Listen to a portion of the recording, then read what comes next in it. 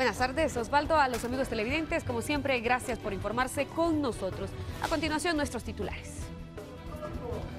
Cuando parecía que todo estaba perdido para los habitantes de la comunidad del Espino, llegó la respuesta de la Sala de lo Constitucional, que ordenó detener el desalojo temporalmente. Le contamos a partir de cuándo podría iniciar el subsidio en el CITRAMS, con el que se verán beneficiados estudiantes, personas con discapacidad y adultos mayores. El gobierno pretende presentar la propuesta de reforma a las pensiones antes de finalizar el año. Le tenemos los detalles. Hablaremos sobre la alerta por lluvias y las medidas a tomar en cuenta, sobre todo si vive en zona de alto riesgo. En Estados Unidos, Obama continúa presionando por reforma migratoria que beneficiará a 5 millones de indocumentados.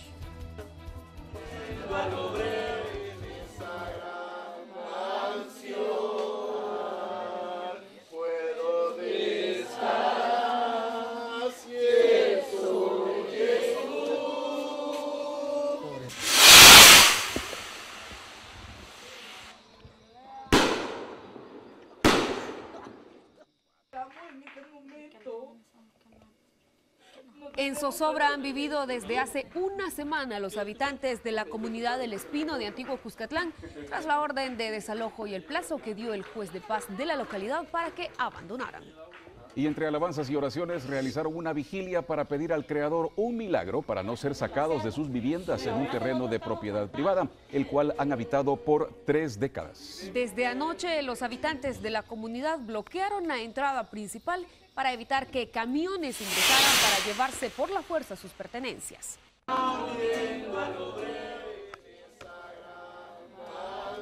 Y hoy desde muy temprano nuestra compañera Alejandra Canales ha dado seguimiento al desalojo que por hoy precisamente ha quedado sin efecto tras la orden de la Sala de lo Constitucional. Pues le pedían a las autoridades que no desalojaran.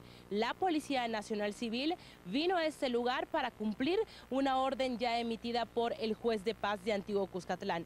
Pero no les comento más, les he preparado un informe completo de lo que sucedió. Veamos. Hoy quieren atropellar al pueblo, a la comunidad del Espino. A las cero horas de este martes venció el plazo que había dado el juzgado de paz de Antiguo Cuscatlán a los residentes de la comunidad del Espino para desalojar la tierra que ocupan desde hace varias décadas y que hoy sus propietarios reclaman. Queremos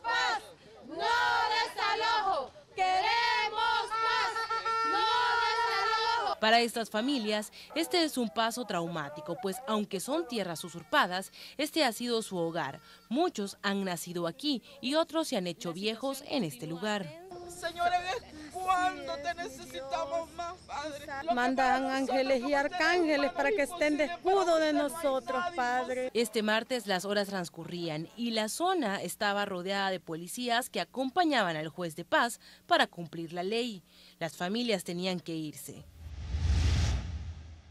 En este momento, pues, yo les hago un llamado a desalojar de manera pacífica sus viviendas. Caso contrario, ya la ley me faculta para poder utilizar la fuerza. En los rostros de las personas era evidente la angustia ante el desalojo.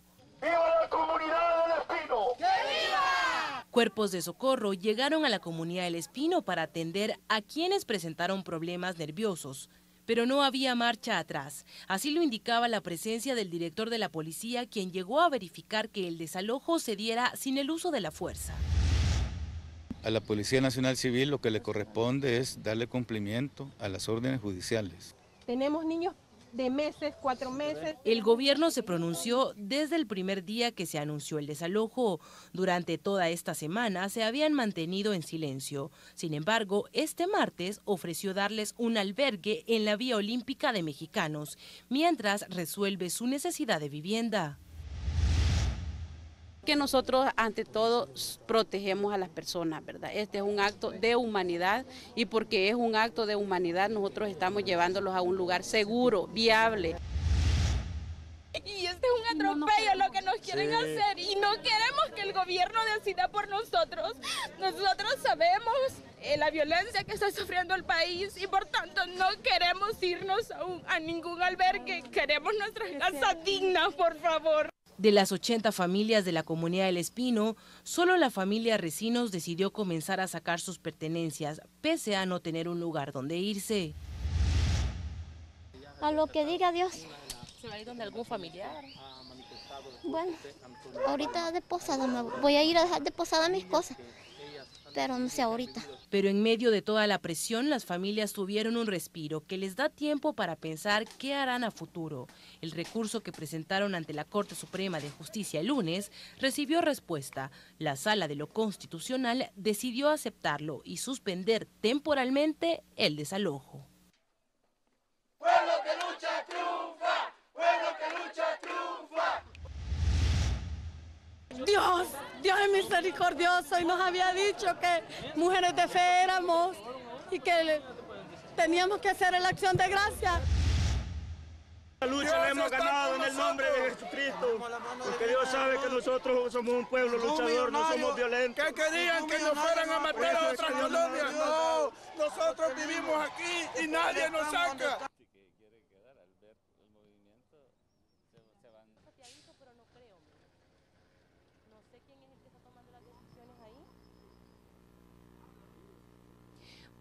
Pues esto es lo que les he preparado, eso es lo que se ha vivido durante toda la mañana aquí en la comunidad El Espino. La sala admitió el, el, recurso de amparo y pues vamos a darle lectura, entiendo compañeros, parte de la resolución. Así es Alejandra, como ya les decíamos, la sala de lo constitucional suspendió el desalojo de las familias de la comunidad El Espino, pero ¿qué dice exactamente la resolución? El documento reza literalmente, suspéndanse inmediata y provisionalmente los efectos de la omisión reclamada, lo que implica que el juez de paz de Antiguo Cuscatlán deberá abstenerse de efectuar el desalojo de las familias que habitan en el caserío El Espino, Cantón El Espino. Esta es la respuesta que da la sala al recurso que presentaron los residentes de la comunidad amenazados con el desalojo. Este caso pone en contexto el choque que existe entre la necesidad de una vivienda y la seguridad jurídica que debe prevalecer sobre la propiedad.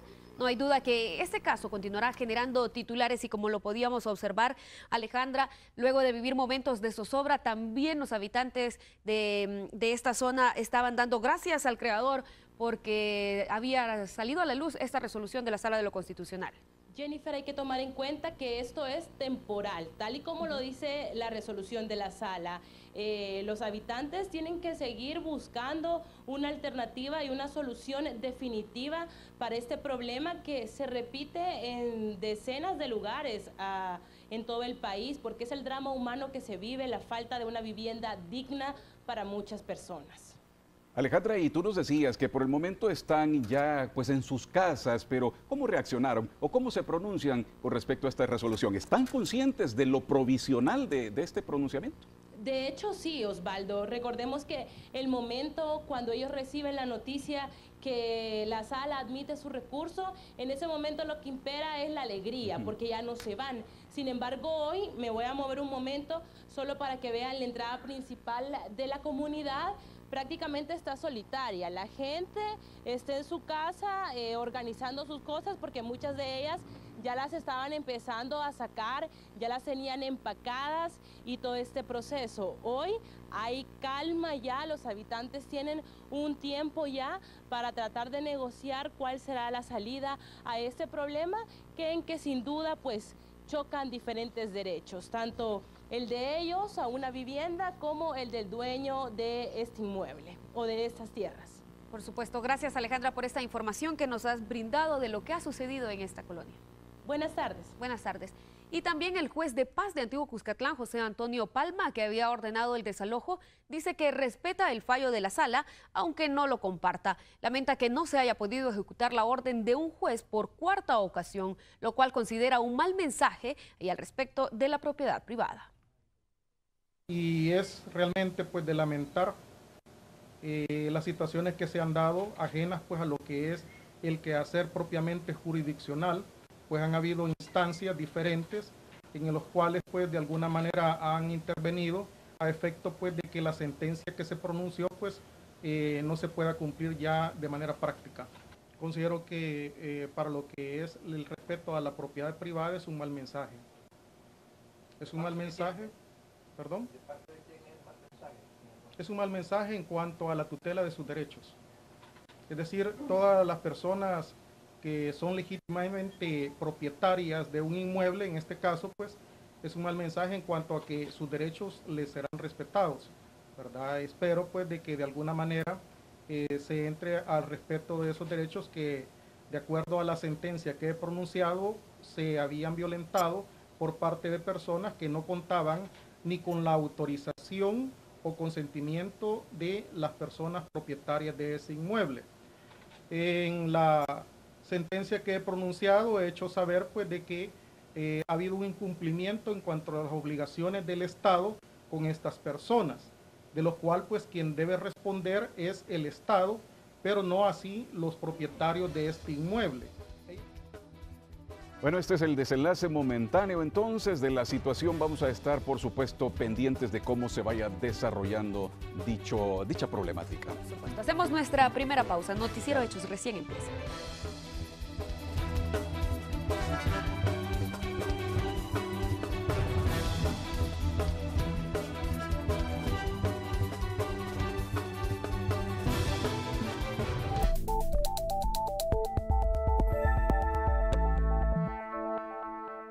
Hasta Washington nos enlazamos vía satélite con Gonzalo Abarca de La Voz de América. Gonzalo, vamos a tocar varios temas hoy, pero importante los últimos sucesos que se han dado ahí precisamente en Washington. Entendemos que ha habido alarma en el Senado y recientemente, hará unos minutos, también en la sala de prensa de la Casa Blanca. Adelante, Gonzalo, con tu información. Gracias, Osvaldo. La noticia se desarrolla en Washington y Canal 12 con con La Voz de América en conjunto, informando en este momento. En este momento se ha vuelto, la, tanto la Casa Blanca como el Senado han estado en alerta máxima una llamada telefónica disparó las alarmas de que podría haber una bomba tanto en el Senado como en la Casa Blanca. La sala de prensa de la Casa Blanca fue evacuada y hace solamente segundos, Osvaldo, hace solamente segundos los periodistas han regresado a la sala de prensa de la Casa Blanca. Mientras tanto, a mis espaldas están las oficinas, está el Capitolio y las oficinas también del Senado y el Congreso. Una de ellas en donde se llevaba una audiencia sobre la Agencia de Seguridad del Transporte, también evacuada precisamente por una llamada que advertía que había una bomba en el Senado, en esas oficinas. Las calles estuvieron bloqueadas, algunas de ellas continúan bloqueadas, escuchamos aún las sirenas, perros con la policía y, y, miembros del servicio secreto aún patrullando los alrededores. Recordemos que cuando se trata de advertencias de bomba, las agencias de seguridad en Estados Unidos no toman nada a la ligera. De manera que aunque ya han vuelto todo aparentemente ha sido, eh, ha sido aclarado, todo aparentemente ha sido una falsa alarma, pero nada se toma a la ligera. Están revisando las llamadas, los números de teléfono de varias personas, están revisando todos los paquetes que han ingresado tanto a la Casa Blanca como al Senado hoy y para confirmar de que efectivamente todo está fuera de peligro. Pero un susto, un susto se llevaron hoy los periodistas y algunos senadores aquí en el Congreso, Osvaldo. Así es, y precisamente aquí estamos viendo las imágenes que ya nuevamente está en actividad, ya la conferencia a la cual estaban convocados estos periodistas ya se está desarrollando con eh, normalidad, si lo podemos decir así.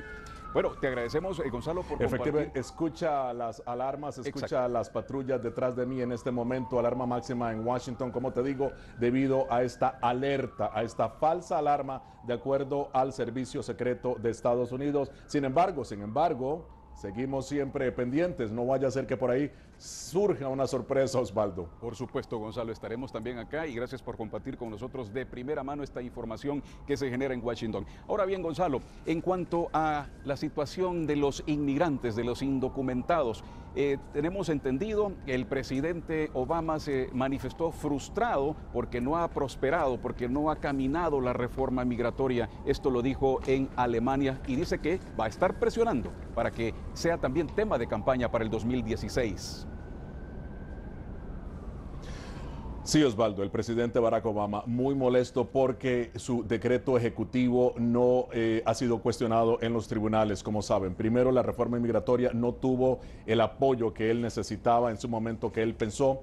Luego emitió un decreto ejecutivo que ahora se encuentra en stand-by, se encuentra detenido. El presidente está muy molesto porque sabe que aproximadamente 11 millones de inmigrantes están pendientes de este decreto ejecutivo. Su futuro depende de él. Los tribunales en este momento deben eh, eh, determinar si procede o no, pero el presidente ha sido claro, este país, Estados Unidos, necesita una reforma inmigratoria, necesita acoger a los inmigrantes, los que ya están aquí, hay que decirles, bueno, pueden permanecer siempre y cuando sigan estas reglas, pero Estados Unidos, el presidente lo ha dicho y lo dijo ante las cámaras, Estados Unidos no puede darse el lujo, no tiene los recursos de expulsar a todos los inmigrantes indocumentados que están en el país. Por eso está bastante frustrado los republicanos que dominan tanto la Cámara como el Senado, no lo dejan respirar al presidente Barack Obama. Y ojo, Osvaldo, también muy importante, se acercan las elecciones presidenciales, estamos calentando en el asunto de las primarias y es importante para los demócratas presentarle a la comunidad hispana,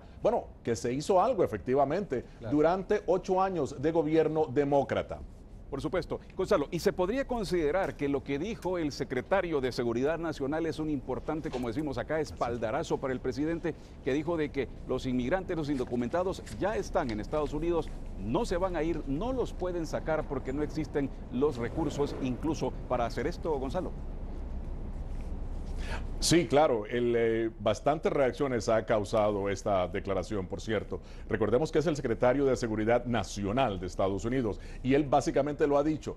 Toda la información que tenemos todo lo que me han dicho, todo lo que me aconsejan mis asesores es, los inmigrantes están aquí para quedarse. Aquí en Estados Unidos se van a quedar ante esa situación. Eso es un hecho, no podemos hacer nada. Solamente hay un camino y es la reforma inmigratoria. Debemos de establecer una serie de parámetros para que ellos puedan proceder a trabajar tranquilamente, pero no podemos expulsarlos. Están aquí para quedarse y aquí se van a quedar, Osvaldo. Por supuesto. Gracias entonces, Gonzalo, por darnos esta información y antes de despedirnos, queremos compartir con nuestros amigos televidentes, Gonzalo, precisamente ese momento en el cual están siendo evacuados los periodistas convocados a la conferencia ahí en la sala de prensa de la Casa Blanca pero pues estamos eh, ahí ya pues bastante tranquilos porque tú decías que ya básicamente ha vuelto a la normalidad la situación, que todo se trató de una falsa alarma.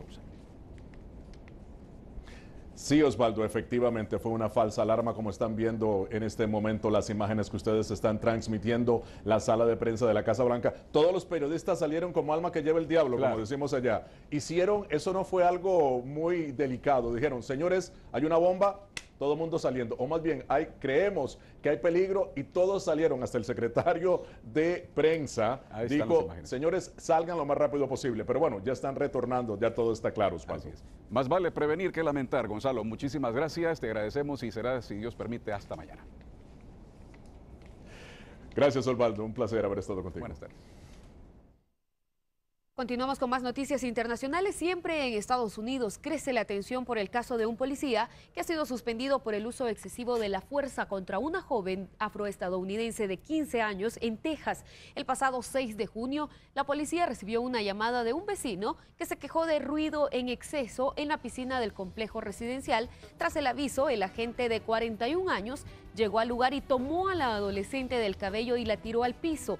Este hecho ha generado repudio por lo que la población ha salido a las calles a exigir la expulsión del policía. Por su parte, las autoridades giraron un comunicado manifestando que el caso continúa siendo investigado. En México se registró un accidente ferroviario que provocó el descarrilamiento de al menos ocho vagones que transportaban maíz. Daniel de Rosas de nuestra cadena aliada Azteca Noticias nos amplía. Las ruedas de acero fueron arrancadas como si fueran de papel. Son de vagones del ferrocarril que chocaron uno tras otro en Tlalnepantla, Estado de México. Eran alrededor de las 19 horas del lunes, cuando los cuerpos de emergencia recibieron la llamada de apoyo. Al llegar, encontraron este escenario. Al parecer transporta maíz. Maíz. ¿De dónde viene este ferrocarril? Al parecer de Veracruz. Personal de seguridad recorría la zona para evitar que curiosos se acercaran. Resguardando la pura, la pura carga nada más. Incluso uno de los vagones pegó con la malla ciclónica que se encuentra justo a un costado de la avenida Prolongación Hidalgo en la colonia San Rafael. La circulación sobre la avenida fue suspendida. Uno de los furgones arrancó parte de la cinta asfáltica. Este es otro de los siete vagones que se accidentaron. La carga, el maíz que transportaba, quedó regada en el piso. Otro vagón pegó en la barda de una bodega de una empresa. Afortunadamente en este lugar solamente se reportaron daños materiales. Se oyó un, un sonido muy fuerte, o sea, es como que se empezó a vibrar. Y ya cuando, cuando vimos, pues ya estaba todo esto descarrilado. Yo estoy de parte de aquel lado, pero pues salí y ya vi el- que ya se había descarrilado, ya me vine a asomar por acá y ya nos había destruido aquí. el- Una impresión bastante fuerte, ¿no, oficial? Pues sí, porque ahora sí que ya no sabe uno de dónde, ni de dónde viene el, el, el golpe. Afortunadamente no, no hubo víctimas que lamentar, nomás materiales. Y pues, estamos bajo resguardando el equipo y todo esto. Un vagón más se encontraba a 70 metros junto con la locomotora.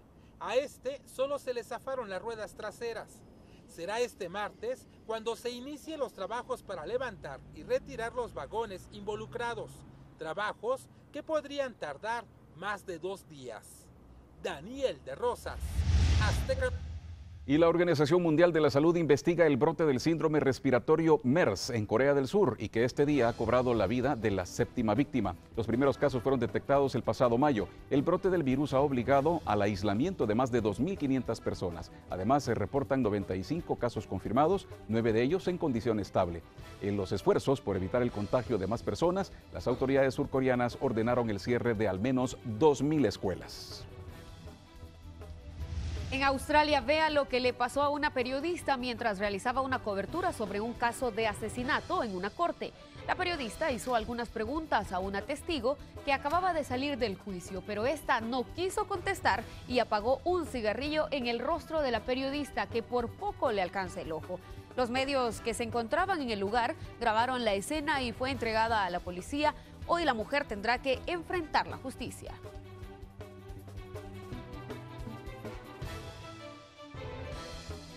Antes de finalizar, ¿quieres hacer el viaje que tanto te mereces? Ahora es posible con los créditos personales de Banco Agrícola. Solicita información marcando el 22 10 9800. En Banco Agrícola estamos poniendo el alma para que vivas tus sueños. Vamos a la pausa, ya regresamos.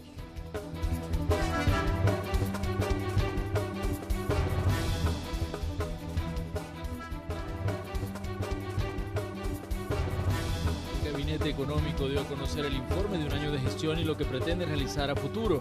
Según el secretario técnico de la presidencia, Roberto Lorenzana, se ha logrado la reducción de un 32% en el precio de la energía eléctrica. Además, reportan un crecimiento en las exportaciones, remesas y han logrado una apertura comercial con China. Esperan al finalizar el año un crecimiento económico del 2.8%. El ministro de Hacienda, Carlos Cáceres, se refirió al tema de las pensiones. Dijo que el presidente de la República, Salvador Sánchez Serén, ha planteado que la propuesta de reforma se presente este año a la Asamblea Legislativa. Dijo que financiar pensiones no es fácil, pero existen los mecanismos por medio del cual garantizar el pago. Asegura que las administradoras de pensiones ya hicieron su propuesta al respecto. El Ministerio de Obras Públicas rindió un balance de gestión. Gerson Martínez asegura que se han ejecutado 448 obras de inversión con un monto de 289 millones de dólares. Destaca la construcción de más de 160 kilómetros en construcción de carreteras y asegura que entre los planes para este año está el dar el subsidio con medio pasaje en el Citrams para estudiantes, personas con discapacidad y adultos mayores a partir del mes de septiembre. La respuesta que esperaban habitantes de la comunidad del Espino en Antiguo Cuscatlán llegó. Cuando ya varias familias se disponían a abandonar sus viviendas, la Sala de lo Constitucional de la Corte Suprema de Justicia ordenó suspender temporalmente el desalojo. Las familias celebraron la decisión y quienes habían decidido irse de forma voluntaria retornaron a sus casas. El Gabinete Económico ha dado un balance de los logros en un año de gestión del presidente Sánchez Serén. Nuestro compañero Raúl Hernández nos cuenta los resultados desde la sala de redacción. Raúl, buenas tardes, te escuchamos. Muy buenas tardes, Jennifer, y también buenas tardes a los televidentes. Así es, el Gabinete Económico de Gobierno este día dio el balance el primer año de gestión del profesor Salvador Sánchez Serén, donde obviamente sacó los logros durante este periodo. De acuerdo a lo que dijeron los funcionarios, durante este año se han creado alrededor de 12 mil empleos con base en datos del Seguro Social. De igual manera, se habló de una inversión de 3.500 millones de dólares, de los cuales mil millones son de cooperación de fondos no reembolsables, como Fomilenio, también Proyecto Yucatán y colaboración de la Unión Europea. También se habló de incremento de exportaciones y de bajo del eh, precio de la energía eléctrica. Sin embargo, un tema que sigue en agenda y que aún no tiene una respuesta concreta por parte del gobierno es la reforma al sistema de pensiones. Este día los funcionarios hablaron de que las disposiciones que ha dado el presidente de la República para presentar estas reformas en los próximos meses, de igual manera hablaron de la dificultad que está atravesando el sistema de pensiones. Veamos parte de estas declaraciones. El presidente nos ha planteado que la propuesta de reforma de pensiones debe de presentarse este año a la Asamblea Legislativa. Ya exactamente la fecha no, no, podemos establecerlo, pero es en este semestre, este es el año de la reforma a nuestro juicio.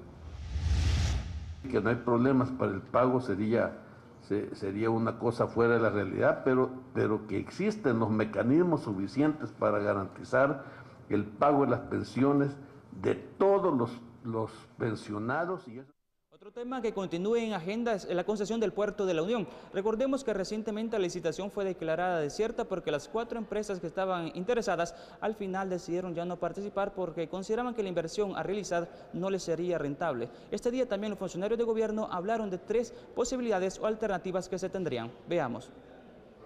Y estamos viendo los escenarios volver a hacer una licitación, modificando las bases, poniéndonos más flexibles todavía. Eh, eh, otra posibilidad es un asocio público-privado, no descartamos esa posibilidad, para lo cual hay que hacer un estudio de valor por dinero para ver si realmente ese es el camino. Y también podría ser, podrían haber, al menos la ley lo permita, la posibilidad de que puedan haber contrataciones directas con empresas que quieran hacerse cargo de ese negocio. También se habló en esta conferencia de prensa sobre el panorama internacional y cómo la baja de precios del barril de petróleo también está beneficiando, por lo menos durante este año, a la economía salvadoreña y también a los hogares, al consumidor final. Escuchemos. En el caso de la industria, tiene una inyección extraordinaria de 379 millones de dólares. Luego de este panorama, de acuerdo a las proyecciones de los funcionarios del gobierno y con base a proyecciones también de organismos internacionales, el crecimiento económico para el 2015 se mantiene a 2.5% a 2.8%. Esta es la información. Esperemos que así sea este crecimiento económico. Gracias, Raúl, por esta información. Buenas tardes. Buenas tardes. Y por otro lado, las cámaras de comercio binacionales de siete países unidos en una federación se concentran para intercambiar estrategias. La periodista Carolina Mengíbar nos amplía los detalles en el siguiente enlace. Carolina, te escuchamos. Así es, compañeros, siete cámaras binacionales que operan en El Salvador ahora están unidas en una federación en la que podrán competir, pero también compartir experiencias, tecnología y también solicitar a su socio estratégico mejorar algunos aspectos para incentivar la inversión extranjera que a la fecha ha generado 300 mil empleos directos. En el evento estuvo presente la embajadora de los Estados Unidos, Mari Carmen Aponte, y los representantes diplomáticos de siete países, entre estos España, México, Colombia, Israel, Francia, entre otros. Fue específicamente el embajador de Alemania quien hizo un especial llamado al gobierno de El Salvador. Eh, esto juega en ambos días. Aquí estamos dispuestos a cooperar, pero también esperemos que de parte de El Salvador se crean condiciones favorables para que eh, estas metas nuestras se puedan realizar. Ahí tengo cuatro puntos que deberían cumplirse. En primer lugar, lo que también mencionó eh, mi colega norteamericana, Estado de Derecho, seguridad jurídica es clave para eh, nuestros socios y las cámaras puedan hacer su trabajo.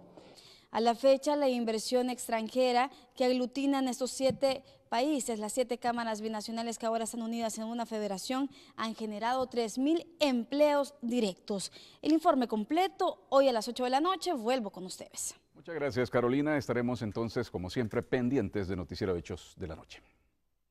Y esta mañana el ministro de Obras Públicas ha rendido cuentas de su trabajo en el primer año de gestión del presidente Salvador Sánchez Serén. También han hecho un importante anuncio relacionado al servicio del CITRAMS. La periodista Claudia Cusco, quien se encuentra en las instalaciones del Centro Internacional de Ferias y Convenciones, nos tiene más detalles. Buenas tardes, Claudia. Saludos a esta hora del mediodía. El titular de Obras Públicas ha destacado que en este primer año de gestión del presidente Salvador Sánchez Serena ha sido de más inversión y más empleo en materia de obras públicas. Ha destacado que eh, las obras que se han ejecutado se aproximan ya a las 450 con una inversión que sobrepasa los 300 millones de dólares. De 448 obras eh, realizadas de una inversión de 363 millones de dólares, de 279 obras entregadas y 169 obras en ejecución, de los empleos generados en obras públicas, en donde se han generado 7.592 empleos directos y más de 30.000 empleos indirectos. Uno de los importantes anuncios por parte de las autoridades de obras públicas ha sido el subsidio que se realizará o que se dará en el eh, sistema de transporte articulado del área metropolitana de San Salvador para estudiantes, personas de la tercera edad y personas con discapacidad. A partir de septiembre habrá eh, una reducción en el precio del pasaje. Siempre y cuando la, la asamblea, en este caso Arena, apoye, dijéramos, eh, el financiamiento para este eh, subsidio focalizado, ¿verdad? Que es para grupos vulnerables y en este sentido el proceso para poder otorgarlo debe ser un proceso que nos garantice saber cuántas personas se movilizan. La pregunta es cuántas personas se van a beneficiar. En una primera etapa estamos considerando que del área de influencia podemos estar beneficiando alrededor de 20 mil personas diarias, ¿verdad? Con eh, más o menos 10 pasajes eh, a la semana, 40 pasajes al mes. Gerson Martínez ha estado al frente del Ministerio de Obras Públicas eh, durante seis años de gestión del FMLN en el gobierno. Ha destacado que su trabajo ha estado con cero corrupción comparado con periodos anteriores. Ha destacado también que el país ha dejado de ser el más vulnerable del mundo de acuerdo a Naciones Unidas y ha pasado a la octava casilla, pero no deja de figurar en la lista de los 10 más vulnerables de todo el mundo. Con esto vamos a enviar nuestra señal hasta el estudio principal. Más detalles de esta noticia en nuestra emisión de Hechos de la Noche. Buenas tardes. Gracias, Claudia. Buenas tardes. Y ahora, Osvaldo, usted tiene una importante invitación que hacer. Así es, estar muy pendientes a partir de las 8 de la noche porque en nuestra emisión estelar comenzaremos a presentarles un informe especial sobre el puerto de la Unión Centroamericana, que pese a ser prometido como un polo de desarrollo, sigue sin funcionar en su totalidad. Durante su construcción, el puerto de la Unión fue visto y calificado como la alternativa de desarrollo de la zona oriental del país. Muchos soñaban con una nueva fuente de empleo, con el atractivo de grandes inversiones, pero el tiempo ha pasado y el puerto sigue sin operar. En Noticiero Hechos le presentaremos una investigación de por qué esta obra no es atractiva, qué se puede esperar a futuro y cuál es la experiencia de países como Honduras y Costa Rica en desarrollo portuario. Sintonícenos esta noche en Hechos Emisión Estelar. Noticiero Hechos, la fuerza de la noticia. Red, moviendo negocios, presenta. Ahora vía red, nuestro compañero Ernesto Cornejo nos tiene detalles de un homicidio registrado en el centro capitalino. Ernesto, te escuchamos. Adelante. Así es, Jennifer y Osvaldo y amigos televidentes, buenas tardes. Informales de otro hecho de violencia, esta vez acá en el edificio 10 del Mercado Central. Se trata de un vendedor identificado como José Ángel, de 25 años de edad. Según primeras investigaciones, todo se trata de una disputa de territorio, ya que en el lugar opera la Mara MS y la Mara 18. Esta es la información que tenemos hasta esta hora del mediodía. Compañeros, regreso a la señal a los estudios. Buenas tardes. Gracias, Ernesto. Buenas tardes para ti también. Red, moviendo negocios, presentó. Y en más hechos, este lunes fueron sepultados los restos del policía Fernando Antonio Martínez, de 26 años, quien fue atacado por desconocidos en su vivienda ubicada en el Cantón Primavera de Santa Ana. Por este caso ya hay cuatro capturas. El agente estaba destacado en la delegación de Sierra Morena en el municipio de Soyapango. Como parte de la cooperación militar entre Estados Unidos y El Salvador, este día llegó a nuestro país un grupo de extranjeros que participarán en entrenamientos para atención de desastres naturales. Para conocer más, nos enlazamos con nuestro compañero Julio Guevara hasta la base aérea militar de Ilopango. Buenas tardes, Julio. Buenas tardes. Así es, se trata de un grupo de 15 infantes de la Marina de Estados Unidos que arribó a tierra salvadoreña hace aproximadamente una hora. Escuchemos el objetivo de su visita. Este grupo eh, de infantes de Marina viene de la base de Sotocano en Honduras y van a estar en El Salvador trabajando con el batallón eh, de las Fuerzas Navales en la Unión. El grupo va a estar en El Salvador aproximadamente hasta el mes de noviembre y durante este tiempo van a estar llevando a cabo entrenamiento de cómo responder ante emergencias naturales. Esta es una misión muy importante ya que el Comando Sur ha enfocado algunos de los esfuerzos en la región centroamericana y Latinoamérica para poder eh, prepararnos ante cualquier emergencia natural. Las capacitaciones aproximadamente durarán cuatro meses y serán impartidas a un grupo de 80 soldados salvadoreños. Con esta información retorno a los estudios. Feliz tarde. Gracias, Julio. Feliz tarde para ti también. Hacemos una pausa, pero cuando regresemos, una importante entrevista.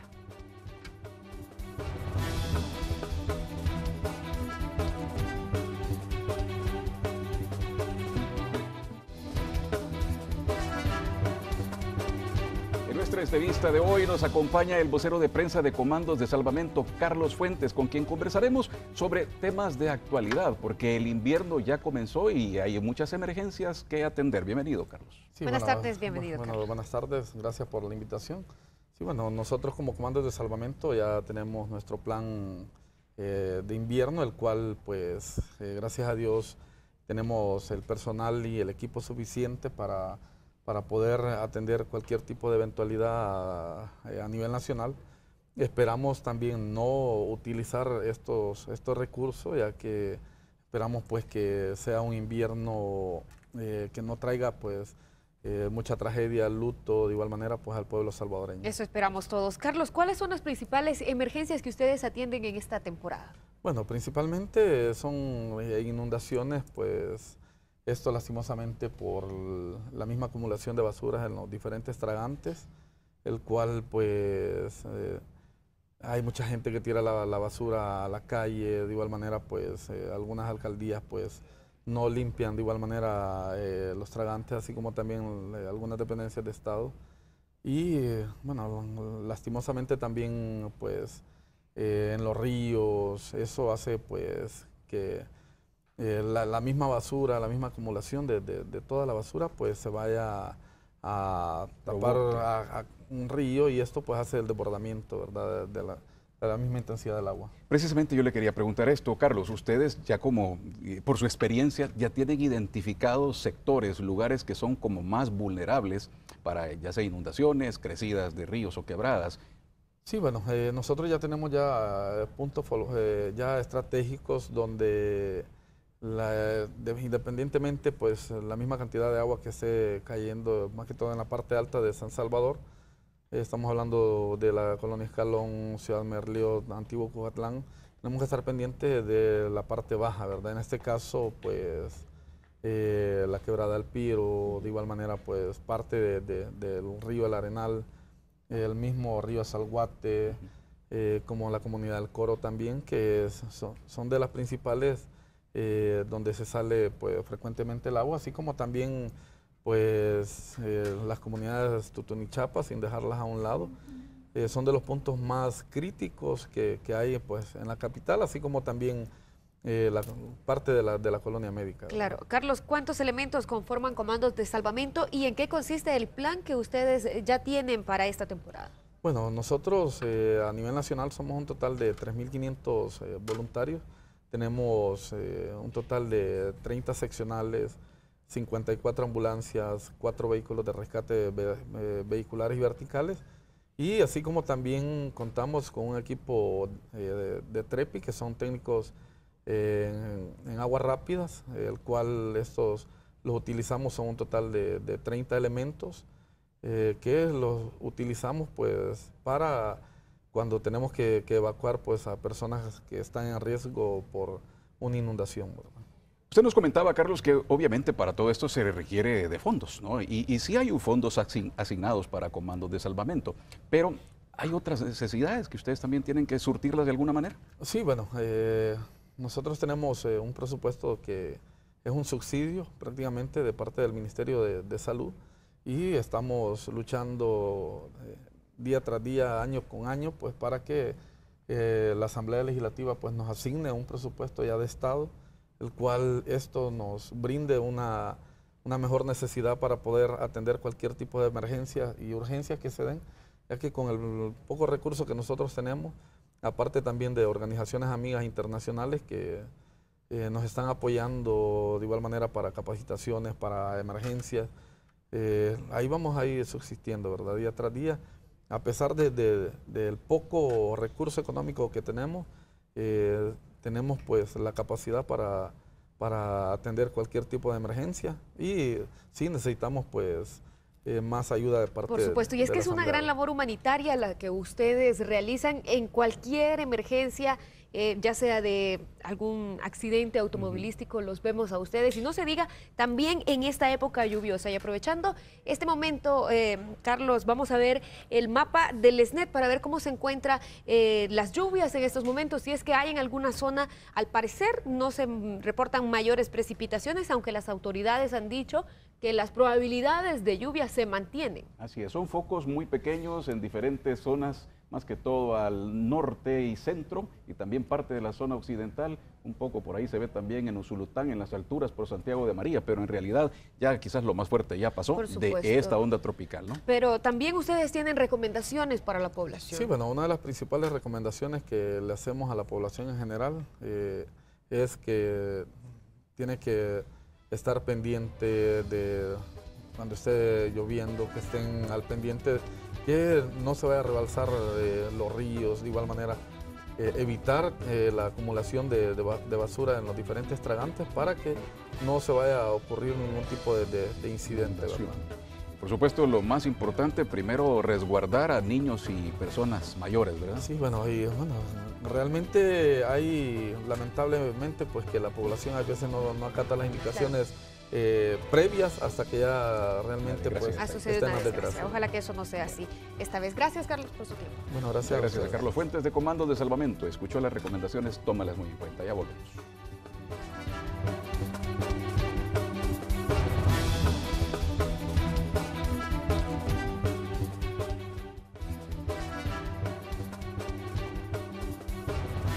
Contigo Money puedes hacer una carga de dinero a tu cuenta, pagar las facturas, hacer autorrecargas de saldo, enviar y recibir dinero, recibir remesas internacionales, todo desde tu celular Tigo. Entra al menú de servicios, ya sea por app Tigo Money o marca asterisco 55 numeral.